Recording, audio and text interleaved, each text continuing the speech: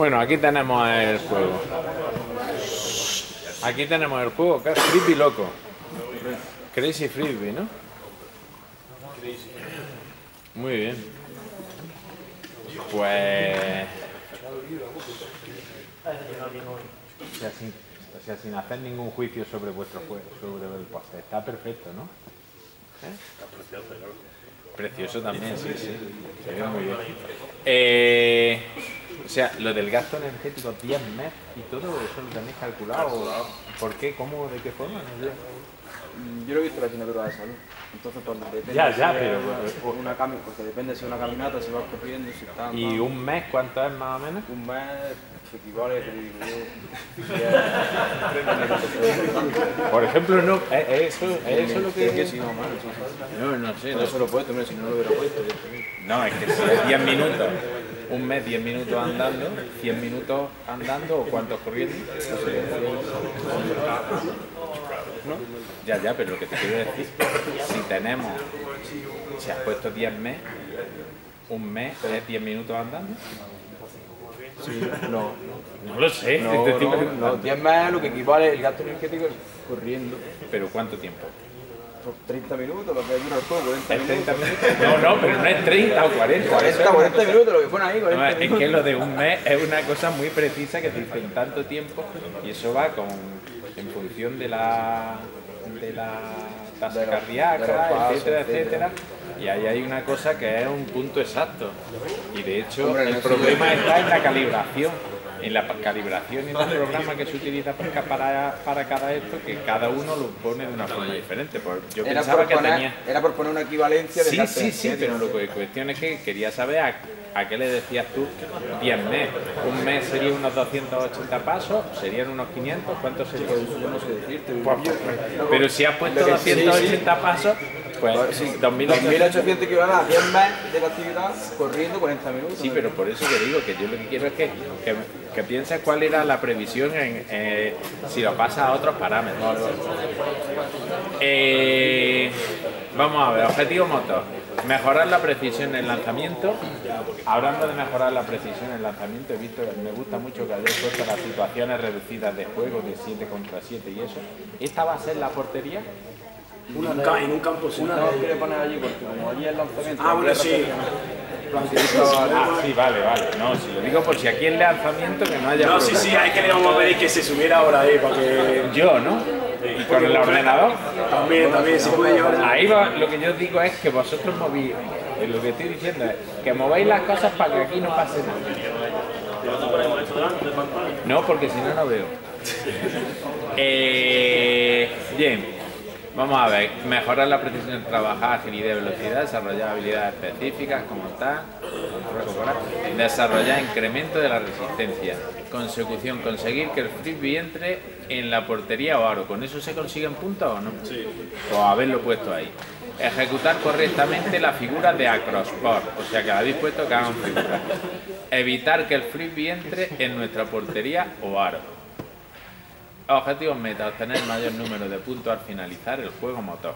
Vale, por eso en el de consecución tendríais que haber puesto eh, eso, habéis, se- cómo se consiguen los puntos. Habéis puesto algunas eh, calificaciones, pues que tengan cuidado, vigilancia, peligro moderado, se entregarán medallas, eh, edad, 12 años,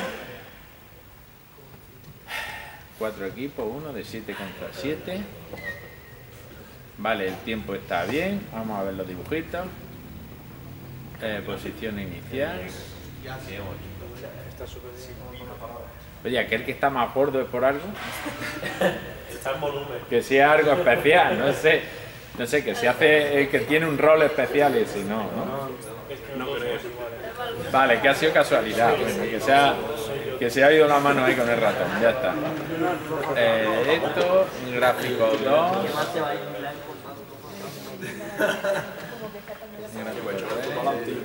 Lo que veo es poco movimiento, ¿no? Porque ahí se ve poco movimiento de los jugadores o cuál es la razón.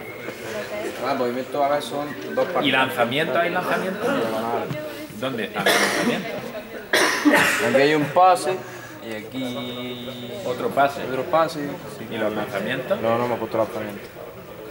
O sea que no lanzas la pelota. Sí, hay la lanzamiento, sí, lanzamiento, pero Vale, vale. Bueno, pues ya está. Vamos a ver cómo va el Crazy. Por el nombre y eso, a mí me parece que el juego tiene que estar bien. Bueno, explico. Escuchadme, por favor. Van a ser dos partidos, ¿vale? En diagonal. Diamantes contra pica, que vamos a poder utilizar todo el campo, ¿vale? Vamos, si juega con un freebie, ¿vale? Lo que tenemos, lo que hemos dicho en los objetivos. Tenemos que lanzar a portería, pues en el caso de que sea un aro, un compañero recepcione, ¿vale? No podemos pisar la zona restringida, que en cada portería habrá conos, igual que en estos aros también habrá conos, ¿vale? Ni tampoco podemos pisar la zona de los que es la del centro del campo. Entonces nos enfrentaremos para marcar gol. Todos tienen que tocar el frisbee, va a hacer una posición y va a haber dos mitades. En la primera mitad daremos dos silbidos, y entonces el silbido significa que tenemos que ir al medio campo donde están los conos y realizar una, figu- una figura de acrospop, ¿vale? Que nosotros los pondremos en el suelo. Habrá cuatro figuras. Figuras, dos por cada mitad y poco más. Vale, muy importante una cosa, lo- eh, cuando pitemos, los equipos más o menos son de 7, no sé cuántos son exactamente, pero son de 7, pero cuando vayáis a hacer la figura de crosspop, solo tienen que ir dos personas de cada grupo, y luego van a ser más o menos cuatro figuras, entonces la siguiente figura no pueden repetir los dos mismos que han hecho la primera, tienen que ser dos diferentes. Luego ya si llega un momento que lo habéis hecho todos, pues a lo mejor la última sí, a lo mejor repite uno de cada equipo, ¿me entendéis? Todos los equipos pueden pasar por toda la zona del campo, ¿vale? No significa que, por ejemplo, Trébol y Corazón sea solo en diagonal, decir, Trébol también, el equipo de Trébol, los componentes también pueden venir por aquí, ¿vale? Utilizamos todo el campo, lo que pasa es que las metas, en este caso los aros, pues están en diagonal, ¿vale? Cuando paramos para hacer la mitad del partido, cambiaremos de campo, ¿vale? Las picas y los diamantes atacarán a los aros, ¿vale? Y por lo demás ya está lo que hemos dicho. Habrá dos mitades cuando pitemos, acordaros que dos componentes del grupo tienen que ir a hacer la figura de los que estará puesta en el suelo. Y ya está, si tenéis alguna duda, Vale, y una, una cosilla más. Eh, básicamente, como norma así para el cambio de posesión, nosotros vamos a iniciar lanzando un- los dos frisbees desde las gradas, así que el primer equipo que coja es el que obtiene la posesión. Si el otro equipo intercepta un pase o al equipo que tiene la posesión se le cae el frisbee al suelo o se le sale del terreno de juego que es la pista de fútbol sala, se cambia la posición al otro equipo. Y, lo- y una cosa muy importante, cuando realicéis la figura de crosspop, soy, os seguís enfrentando a los dos equipos, por ejemplo, corazón contra Trevor, pues el primero que haga la figura correctamente, nosotros eh, le daremos el frisbee que va a ser el mismo, pero va a tener un valor de por tres puntos. Es decir, que si en esa posición conseguís marcar gol sin que os roben el frisbee, pues son tres puntos tras hacer la figura de crosspop. Después otra vez va a seguir valiendo un punto, ¿vale? Ya está. habrá una rúbrica de evaluación para el equipo a ver si se cumplen los objetivos y ya te contaremos los pasos con María que te reloj, ¿no? Perfecto, pues ya vamos a empezar. El marcador lo vamos a poner allí para que lo podáis ver. Vale, pues dividiros en diamantes, corazones, pica y tréboles y tal.